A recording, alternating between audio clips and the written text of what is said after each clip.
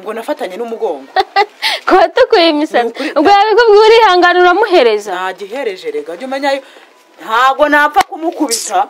Kubera iki? Rega uriya nawe tugomba kumwubaha. Ariko na porofesa avuye aho Eh, ambwiye umva ampaye uburenganzira bwo kumudira ku buryo buri munsi atera aha. Um, tuzambabare umukubite mpari. Nshaka nawe kuzanoba herega. Uzanobaho Eh. akora karasetse laki ntuvuye gusenga. Urumva nta kintu wavugana nanjye. Uvugana nawe ariko urashika kunda mu mutwe ngo ushake ku Ariko ntabwo ari ukukureba mu- nk'umuntu w'umwana. Ese urareba ukabona wancurika uko wishakiye? Ariko soso ni gute ngucurika? Ngo- kuki uvuga ngo genda gucurika? Tubivuga ngo wabivuyemo se? Uzayakoresha ibicuka byose nimba wanze gukora ibyo nakubwiye nakubwiye ngo kora ibyawe nanjye nkora ibyanjye. Eh, ubwo bivuga bivuge ko ugiye guko- ugiye gukora ibyanjye nawe ugakora ibyawe.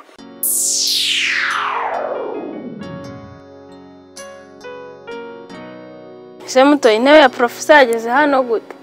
Yariziye nyirayo nyine Eh, yariziye nyirayo? Yari yaje se? Porofesa avuye ahangaha ariko. Mm, yego. Ko nase ko utayisubije mu cyumba aho tuyishyira. Ayijyana none se ugiye ntabwo nicaye? Ehe none se porofesa yaraje kugira ute we? Porofesa nyine yaraje nyine kudusura usibye ko Eh. mubwiye ko wagiye no gusenga. Eh. Yo. nta nta usibye ko mubwiye ko wagiye gusenga ujya usenga? Yambuzwa n'iki se gusenga? Sindabona wagiyeyo nuko mbuze aho mubwira wagiye. Eh, ntawe ushaka kuntera urubwa tuba mu byumba n'ikanyarira twagiyeyo nawe ngo Reka ngo iki na nyamasheke hose Mm. none se uba wansengeye nyine ndagusengera ngo uhinduke. Mpinduke Eh. yesu aragira ngo iti ngo ikize nyine muhinduke. Mwiyeze. turi mu minsi ya nyuma. Iyeze wowe ufite ibyo wiyazage ntabyo ufite. Wowe ntabyo ufite? Ntabyo ufite ndi umwere. Eyo kikamaze kubwira akantu dukora nziyeza nyuma tumaze kugakora. Reka da. Mm, kambwira ubwo nanjye ni- ninumva ariko nta kibazo nzagufasha kwiyeza. Umva wamfashije tugakubita uri- uriya mutipe wari udutesha umutwe aza hano. Kiriya kintu ngo ni ngo gayeri ni gayeri. Wamfashije tugashyiramo tukanza tukamu umva agiye wangeza. Aha yaje kararanserereza ambwira buryo ki ngo na- ngo natukuye imisatsi ngo ngo ngo nafatanye n'umugongo. Kuba tukuye imisatsi. Ubwo yabikubwiye urihangana uramuhereza. Ntagihereje rega. Jya umenya ntabwo napfa kumukubita. Kubera iki? Rega uriya nawe tugomba kumwubaha. Ariko na porofesa avuye aho ambwiye umva. Ampaye uburenganzira bwo kumudiha wabimubwiyeho se njye nabimubwiye buri munsi atora ipera ahangaha se aba aje gukora ni iki? ikibazo. Ahangaha tumugirira umwenda tunawufite yavugaga tukamwishyura nanjye ni byo mpora nibaza. Twamwishyura rwose. Nubwo turi abakene ko ntabwo turi abatindinya kujya ku buryo twabura icyo tumwishyura. Nk'ibyo byose se. Hano buri munsi buri munsi pe uzi ko cyaje kikicara hejuru ya mama. Ariko uzi ko nanjye mama yabimbwiye we? Yaje amwicara hejuru nta nta wagira ahubwo yaranorowe. Iki? nta kinyabupfura mfasha ngewe dukubite niko umuntu. n'ubugoryi bwe bungana. Nubwo nta mbaraga mfite nzamwizingiraho. Nubwo ntazo ufite uzamurye n'amenyo. Eh. urumva? Wabura se icyo umukoraho we mbwira niba uzamfasha ntazamwihambiraho njyenyine akamvunira umuheto. Yanyica ubona ukuntu kinga ko kinguyeho nahita wahera umwuka. ni uguhamagara abaturanyi bakaza bakanyegura sinanabona n'imbaraga zo kwegura. yatinyuka akagukubitira ahangaha. Ahako umuntu utagira disipurine udatinya kwicara hejuru ya mama ubwo ni gute watakuje hasi guhura ahubwo buriya yabitekereje gute? Uzi ko ngiye mama? Uzi ko ako si undi buriya mama? Kuki atamwashije n'urushyi byibura mama aba yihanganye yagize ibinyabupfura ngo ngo- nyabupfura. Ku murezi uza kumbwira ngewe ngo natukuye imisatsi. Ariko ubwo yabikubwiye. Seriye yabimbwira akarenge kanjye ngo sika ngo ururenge imana imfashe ntazambwira ibyo bigambo. Njye natara n'urubuye nka- nkamumena impanga. Namuhereje namwihoreye. Ariko mutoni usigaye witonda hari banza uri no- kwiyeza si gusa da. Ngo ndi kwiyeza. Kwiyeza iki? Ngewe hari ikintu kibi nkora. Umuntu yiyeza ibyo yakoze. Aha ntacyo mvuze ntacyo mvuze ntiteranye ahubwo mbwira niba umupangu duhuje umupangu. Urumva nawanga na porofesa ndakubwira ngo yankomoreye. Ahubwo iyo yambaye yanahingutse arangura ibintu mukore namukubitiye iyi ntebe ya bosi ni ukuri. Yesu we nose tuzamuterana turi babiri cyangwa tuzahamagara na soso turi babiri. Ushobora kutwica? Ubona ukuntu kingana ariko yica abantu. Ariko ubu yadusanga mu rugo. Yarangiza akajya no kutwica. Njyewe mbona mbona tutamwigera. Keretse nibura turi uwa batatu. Tugakubita Eh, kuko soso nawe nubwo kananutse karakomeye. Gafite igufa none rikomeye se umunsi yahagusanze wenyine? Cyangwa umunsi yahasanze jyenyine? Ndi njyenyine nyine ntago nta namureka akagenda. Nanamuganiriza narenzaho se nabigenzana. Njyewe ubu se na- namwigerera. Umva nkubwire. Yaha dusanga twese. Yahansanga jyenyine. Umva nkubwire. Nzamuha. Uri na wenyine se. undi jyenyine umva tuzarwana uzanesha undi ajye yubaha undi. Ku buryo buri munsi atera aha.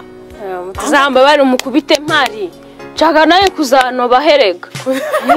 Uzanobaho Eh. akora laki ntuvuye gusenga. Mvuye gusenga ariko nimara gukora ku ngako nzajye nzasubiraho mbwi- mbwira imana nyine ce bugufi imbabarire ntabwo nzongera kuziyezereza Pyo, ibyumba by'amasengesho byarabuze no ku cyumweru ntiwajya gusenga ukihana.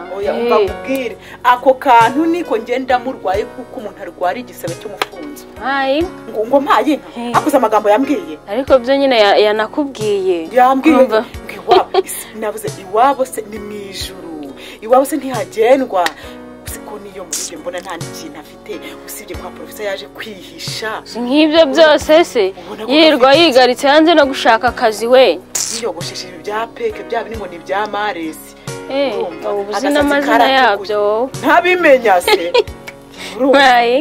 umva nyine umupangu ni uwo nguwo. Umva ntugire ubwoba gahunda niyo nanjye nayifashe. Porofesa apfa kuba yankomoreye. Eh, ntari aradushyigikiye reka nawe amutesha umutwe. Tugenda tujye mu kazi. Ugize imana wabona n'ukuntu wunguka aha ngaha. Ngo mbanze mu myiza imoso soso aho ku- kuba umpitaho umpitaho utamvugisha bimeze uhitaho se uba ugira ngo usuhuze ntabwo tubana mu rugo. Nese ubu ngubu ko mba mbona ako soso ko mba mbona na gahunda twapanze uzintamo jyenyine ubundi ubundi bimeze bite? Gahunda twapanze gutamo wenyine. Mba mbona nta cyerekezo mba mbona nta mutwe ko am- ugomba gutwara amafaranga angana kuri radiyo ugashaka kumpa amafaranga y'urusenda. Agiye uri kumva ibyo ngibyo nabyemera? Ariko utabyemera. Kumva ibyo se ubumbwira ni none se urumva amafaranga yanjye ni ukuvuga ko nta gaciro uyaha none se urumva nta gaciro uyaha njye nakubwiye ko nimba utemeye ngo dupasure tunganye hano. Nkwishyura ibihumbi mirongo itanu byawe. Umva?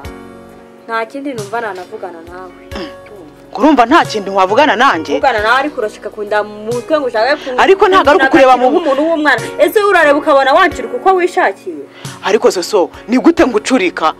Kuki uvuga ngo genda gucurika. Ngewe ngucurika gute se? Jye sinkureba mu bwonko nta nubwo ngucurika. Ngenda kubajije turacyari kumwe cyangwa ntabwo turi kumwe. Turacyari kumwe.